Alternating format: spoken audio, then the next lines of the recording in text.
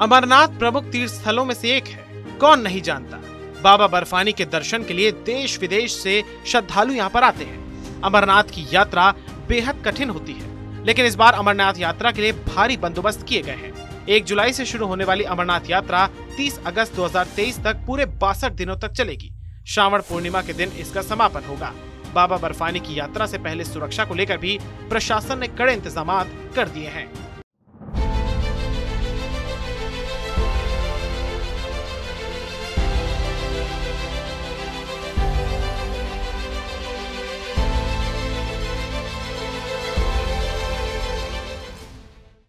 इस साल सुरक्षित और सुचारू अमरनाथ यात्रा के लिए भारी सुरक्षा व्यवस्था की गई है अमरनाथ यात्रा 2023 के लिए कुछ ही दिन बचे हैं और इस वर्ष तीर्थ यात्रियों की संख्या अधिक होने की उम्मीद है ऐसे में पहलगाम और बालटाल मार्ग से अमरनाथ गुफा की ओर जाने वाले पर्वत और पहाड़ी चोटियों सीमा सुरक्षा बलों द्वारा कवर की जाती है और भारतीय सेना ने भी पवित्र गुफा में आने वाले भक्तों की सुरक्षा के लिए विभिन्न स्थानों पर अस्थायी चौकियाँ स्थापित की हैं।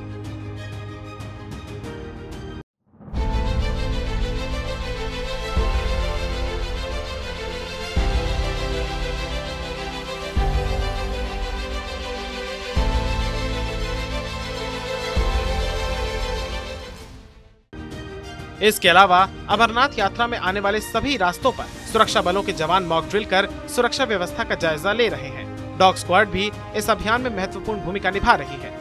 इससे पहले अमरनाथ यात्रा में तैयारियों और सुरक्षा को लेकर एक उच्च स्तरीय बैठक गृह सचिव के नेतृत्व में की गई थी। इस बैठक में सीआरपीएफ, बीएसएफ, आईटीबीपी के डीजी और इंटेलिजेंस प्रमुख शामिल रहे। ऐसा माना जा रहा है कि इस बार सुरक्षा बलों के काम बंटवारे को लेकर भी कुछ परिवर्तन किया जा सकता है। मसलन अमरनाथ गर्भगृह का काम अब तक सीआरपीएफ देखता है, जो अब आईटीबीपी को दिया जा सकता है। सुरक्षा की दृष्टि से मुख्य स्थानों में भी परिवर्तन किया जा सकता है।